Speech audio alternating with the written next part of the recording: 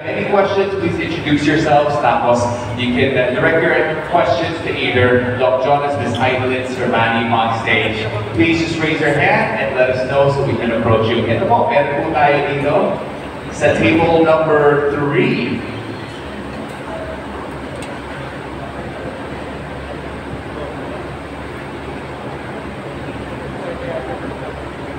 Morning, two legends, sports uh, history makers of Philippines law.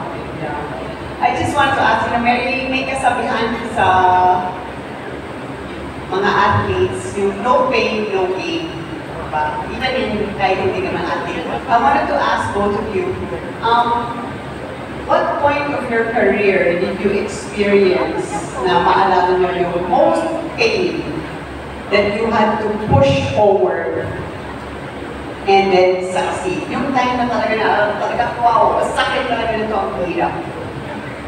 Yung uh, not only once, but uh, many times, uh, na-experience ko talaga masakit, hindi, halos hindi ako pa, pero mo pati sa pagkain, sinusubuhan ako ng asawa ko. Dahil talaga sa, ang sakit ng katawan ko, yung umabot kami ng, uh, umabot ng 12 rounds, tapos yung After. after nun, grabe. Pag kumain ako, pinagpapasubo lang ako kay Jinky para kasi yun talaga masakit. Pero pagkain naman ko na ako, mawala na sa katawan. I've actually seen that minsan hindi mo nga mabukas yung mata mo sa sakit, di ba? Yes, uh, saksi ka naman nun, ano ka sa uh, after the fight.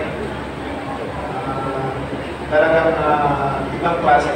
Kaya, sinasabi ko nga, nasubukan, na, na, na, na-try ko na yung ibang mga body pain reliever. Pero, itong alaksan, kakaiba. Hindi ako, hindi ako Ah, bakit ako pumula sa kanila, yung tagal ko na ginagamit ito. Subukan nila at maramdaman nila yung epekto ng alaksan at kay body pains. Heidi? Ako naman, preparation.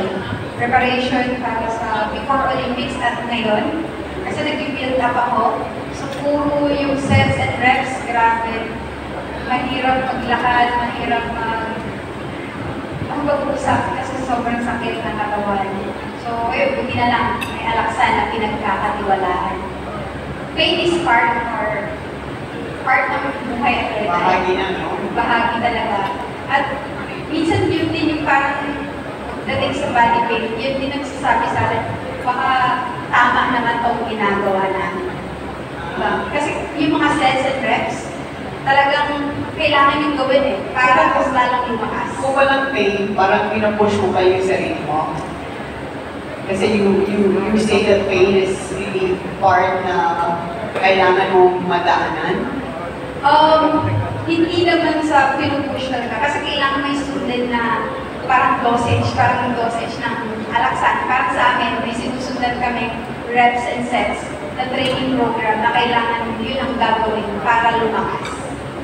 At baka too much pain, no gain na, di ba? Yan, Kasi sobrang much pain, baka hindi na Hindi na makakain, paano magiging no?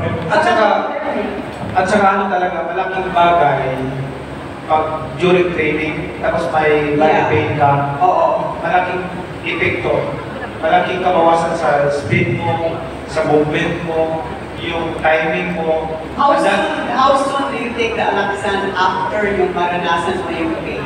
Kind Uh, right after the training, like agad in a few minutes? After a few hours. Ah, O Yun yun. pag may nararamdamang sakit. Agad-agad na. Bago pa lumanain, no? Can I ask one quick question, sure, doctor? So I'm not sure if you mentioned this earlier, but can you take a alaksan before you actually engage in strenuous exercise to prevent pain or no? Um, I wouldn't recommend that. Kasi it's primarily for pain and inflammation. Wala ka naman nun. Uh, so best to, to wait if there's going to be something like that. And that's the recommendation. Thank you very much for your question. So na pala yung winning combination ni sa combination ni Miss Hayden at Sir Manny. Okay, Riverman plus paracetamol plus support ng asawa. Yun na yung trifecta. Yun pala yung kailangan. Any other questions from the audience? Please just raise your hand and we'll uh, get the mic to, ayan po. Sir with a very cool cap or bonnet. Ayan, ah... hello this is Ravi from runnerrocky.com. Ah, yung question ko para kay Sir Manny and kay Miss Hillary.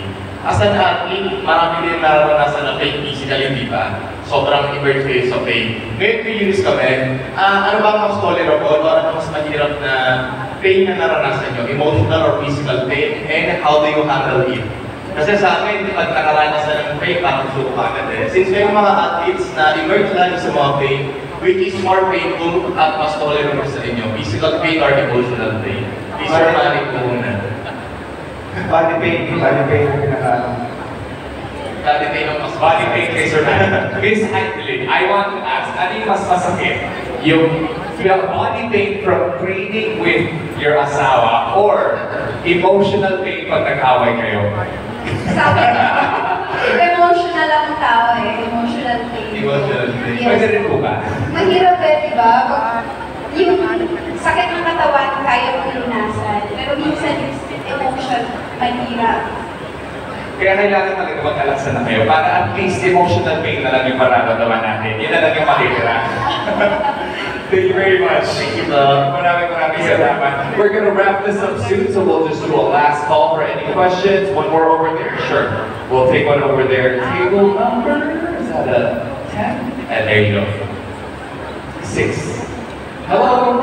Nice to meet you. Uh, such an honor. Um, I'm Annika from The Game magazine. Um, so as athletes, you push yourself sometimes beyond your limits to get stronger. So based on your personal experiences, do you have advice for other athletes who also struggle to push past these um, pains and challenges? Is that for me or? For, for Both both. of you. Yes. So why don't we start with Ms. Heidi? Ano po ba yung ano? How do you push through those challenges as athletes? Baka may advice kayo for other people as well. Ay, Sir Manny, yes. Okay, uh, my advice then is to uh, just just focus and then of course, kailangan may katuwang ka, like uh, alaksan, kung masakit yung katawan mo, uminom ka. Then uh, just focus your goal. Don't be distracted with uh, uh, other people. And may inspire na ako sa akin with, with Don Churchill eh. You cannot reach your destination if you stop and close doon at the end of that park. So, meaning to say, yung focus ka lang, yan yung, yan yung ano ko sa buhay, sa motto ko sa buhay na talagang huwag kang magpa-distract sa mga basta kung ano yung goal ko na tama, doon ako. But uh, of course, being athlete, kaya may kasama yung uh, uh, isa maka-distract yung uh, body pain, kaya kailangan may, may kakatuwang ka rin. Thank you, Manny. How about Heidelin? Ako naman, gusto kong sabihin sa mga athlete na inspiring, nag-inspire na maging gold medalist or champion. Um, rest kung pagod na sila, uminom ng halaksan para makarecover. Then, kinabukasan, training ulit. Back to, back to goal ulit, training ulit, hard work ulit. Ganun lang. Um, don't give up. Kasi nga, nasa ang pagsisisi. Kung ito talaga yung uh, bagay na gusto mong gawin, do your best. Every day, do your best. Every day. Thank you, Heidelin.